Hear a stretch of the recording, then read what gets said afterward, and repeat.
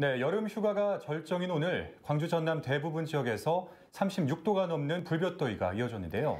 해수욕장과 물놀이장에는 피서객들의 발길로 북적였습니다. 이준호 기자입니다. 바나나 보트가 푸른 빛이 일렁이는 바다를 가로질러 쏜살같이 달립니다.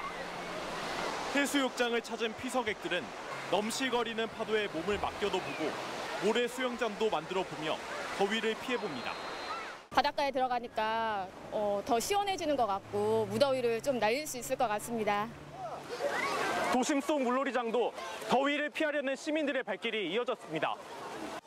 4m 높이에서 쏟아지는 물을 맞으면 어느새 더위도 함께 씻겨 내려갑니다. 날씨가 너무 더워서 집에 있는 것보다 이렇게 밖에 나와서 물 맞으니까 너무 기분이 좋아요.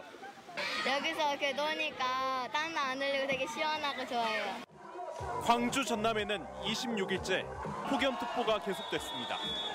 오늘 낮 나주가 37.4도까지 올랐고 광주와 곡성, 함평이 36.9도, 영암 36.1도 등 대부분 지역의 한낮 기온이 36도를 웃돌았습니다. 무더위는 당분간 계속될 전망입니다. 북태평양 고기압과 중국에서 유입된 따뜻한 공기가 더해져서 앞으로도 10일 이상 무더위와 열대야가 지속되겠습니다. 기상청은 다음 주까지 곳에 따라 적은 양의 소나기가 내리는 곳도 있겠지만 큰 비 소식은 없을 것으로 내다봤습니다. KBC 이준호입니다.